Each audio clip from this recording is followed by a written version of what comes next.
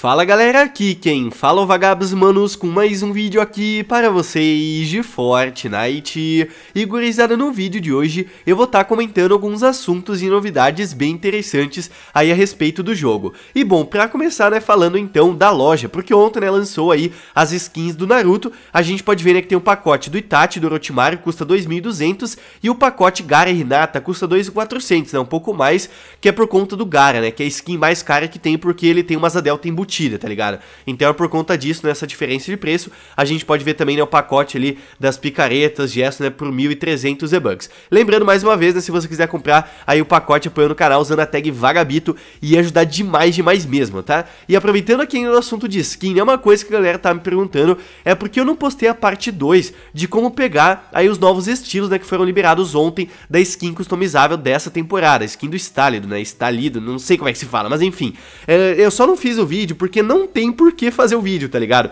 Como vocês podem ver, os novos estilos que foram liberados ontem, para você pegar é basicamente você completar missões semanais. Você não tem que coletar fichas no mapa, né? Como foi na primeira semana lá liberado no início aí da temporada, beleza? Então, se você ainda tava querendo pegar os novos estilos, só que uma parada que muita gente não gostou, e eu também, não é que eu não gostei, mas me desanimou um pouco, né? É que esses novos estilos liberados, na verdade, são basicamente os mesmos estilos, só que de cores diferentes diferentes, né? Tipo, não tem outros rostos pra gente liberar, outros braços, outras pernas. Vai ser basicamente as mesmas que a gente libera no início da temporada, só que com cores diferentes. É ruim? Não é ruim, né? Porque tem vários estilos ainda, só que eu pensava, né? Acho que todo mundo pensava que ia ser mais rostos, mais variações diferenciadas para deixar a skin ainda mais customizável, tá ligado? De qualquer forma, tá então, né? Comenta a sua opinião se você também esperava que ia ser estilos diferentes e não somente aí mudança de cores. E, manos, uma parada que eu achei legal, né? Compartilhar aqui com vocês vocês é o Jones do Fortnite na vida real. Sim, manos, vocês estão vendo aí o agente Jones simplesmente na vida real. Manos, é, é, é literalmente a skin do jogo, né? Não tem nem o que dizer. Tá, você acreditou, né, que realmente era um ser humano, mas não é, tá, rapaziada? Isso não é uma pessoa, enganou muita gente. Eu postei essa imagem no Twitter, né, achei até engraçado que muita gente me perguntando quem que é, quem que é, tá ligado?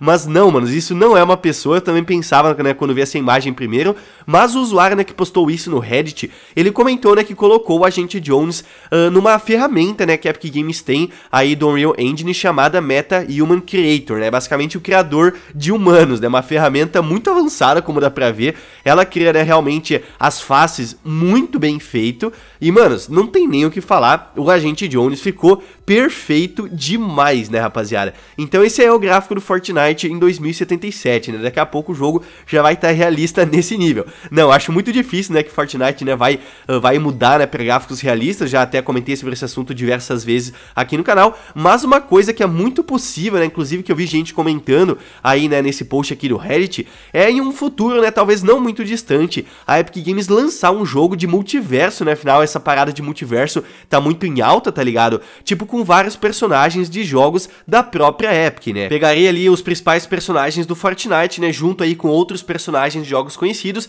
e colocaria num jogo só, né? Ontem, inclusive, eu falei sobre o jogo Multiversos, que era Warner, que é basicamente a mesma coisa. Então, tipo, esse gráfico aqui que eu mostrei do Jones, né? Bem realista, talvez não chegue no Fortnite em si, mas talvez, né? Como eu disse, a Epic, né? pense em lançar um jogo ali, assim como esse multiverso da Warner, né, colocando vários personagens aí conhecidos, e o Agente Jones, todo mundo sabe, é um grande personagem do Fortnite, ou seja, com certeza ele apareceria num jogo desse tipo, aí sim, né, a Epic poderia fazer um gráfico mais realista para esse jogo, aí, né, talvez o Jones será bem parecido aí com essa imagem que eu tô mostrando para vocês, né, claro que eu só tô comentando coisas que podem ou não acontecer, de qualquer forma, tá aí então, manos, o Agente Jones muito realista, uh, tipo assim, muita gente comentou, inclusive, que ele parece até um pouco macabro, tá ligado, um pouco assustador assustador até.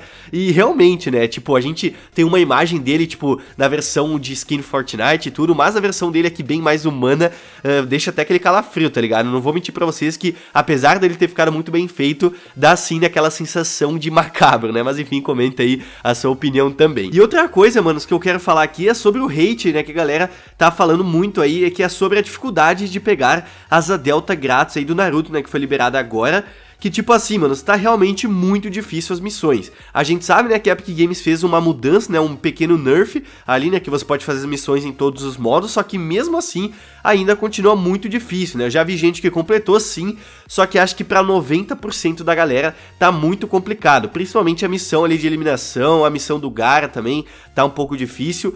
Então vamos ver, né? Tipo, a mais fácil continua sendo da Renata, mesmo sendo demorada, né? Pescar ali e tudo mais. É a mais fácil de todas. E a galera, né, realmente não tá com cabeça. Eu já vi muita gente comentando, né, que não tá mais aguentando, já desistiu de tentar fazer ali, né? Eu postei esse meme aqui há pouquíssimo tempo agora no, no Instagram. E eu vi, né, muita gente já comentando que já desistiu e tudo mais. E inclusive no Twitter eu vi a galera falar isso também.